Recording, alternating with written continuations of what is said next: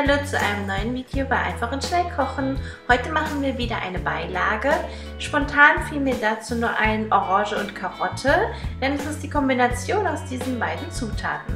Dazu benötigen wir, wie kann es anders sein, Karotten und Orangen, außerdem etwas Butter, Salz und Pfeffer und Thymian. Zuerst bereiten wir die Karotten zu, dazu schälen wir sie erstmal und schneiden sie dann in mundgerechte Stücke. Die Karotten kommen dann zusammen mit ein paar Butterflocken in eine Auflaufschale. Dann werden sie gesalzen und nur sehr, sehr wenig gepfeffert. Nachdem wir die Gewürze etwas verteilt haben, kommen die Orangenschalen hinzu. Diese schneide ich mit einem Sparschäler von der Orange ab.